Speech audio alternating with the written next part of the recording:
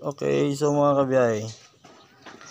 Ah, nandito po tayo ngayon para ikilalanin natin yung ah, timing ng ating ah, 4HE1 na Isuzu. So ayan.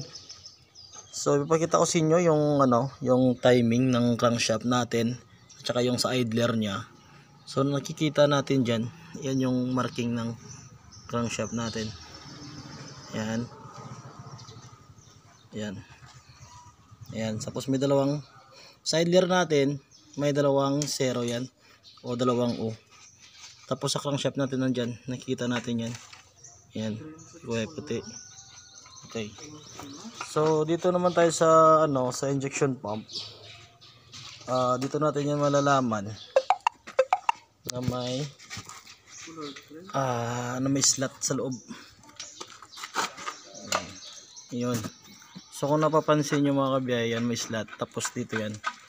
May slot rin siya. Ayan. Tapos, yung isa pa, dito natin mag-observe tayo sa dito sa butas na to.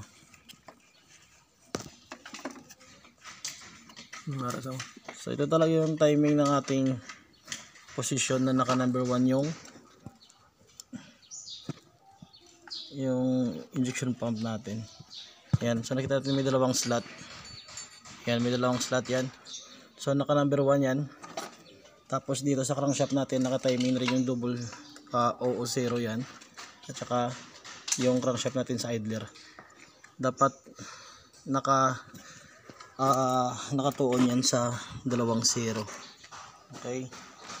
So after yan, titignan natin yung piston natin dapat naka uh, number ah, naka-top tayo. Naka-top dead tayo. Okay. Tapos, ah, hindi, ang do liquid. Hindi ba gro? Anda? Hindi na sa. Oh, ah, do- pinta na lang, do pinta na lang, mga pinta. Hintang puti.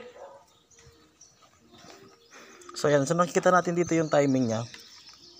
So, ayan. Ayan. So, nandito tayo sa taas ngayon. Sa taas, boys. Iba? Hmm. Hello. So, nandiyan tayo sa taas. Ayan. Okay. So, dito tayo sa pangalawa. Ito una. Isa, pero malayo na yan. Pagkakalam ko, top center ito eh. So, ito na. Dito tayo. Ayan. Okay. Tapos kasi ni ba? So, pangit loob. Okay. May di ano di. So, ayan. So, yung ginagawa nating makina is uh, 4 FB4G. H E1. Ayan.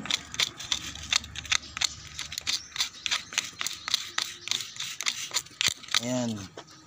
So kung napapansin natin yung model niya 4HE1. So 4HE1 Isuzu. So ayan, so klaro na sa ating mga kabiyahe na nakita na natin yung timing niya. Ayan, so hindi tayo magkakamali kasi itong dalawa na to is puro idler yan. Okay? Ayan, so mga idler na to. So ito yung idler na to, ito yung nagde-drive sa camshaft natin. Tapos ito naman yung idler na to, ito yung nagde-drive ah, from ah, between ng ah, crankshaft at saka ng ah, steering pump niya. Okay. Putantim lang eh. Pag-iniw. So, tsaka itong dalawang id- itong idler sa gitna, tatlo yung dinadrive niya. Okay, so may gear tayo sa labas, may gear rin tayo doon sa loob. So yung gear sa loob na yan, yan. Yung gear sa loob, ito yung dinadrive niya. Yung sa injection pump at saka sa idler ng camshaft. So yan, so magagawa tayo ng ating ano, marking. Ayan. So lagyan natin. Tapos ang dua ka, oh. Yun. So, yung ginagawa natin ngayon ay parang ah, i-clear lang natin na yan talaga yung timing niya kasi baka matanggal yung ginawa natin ditong paint dati.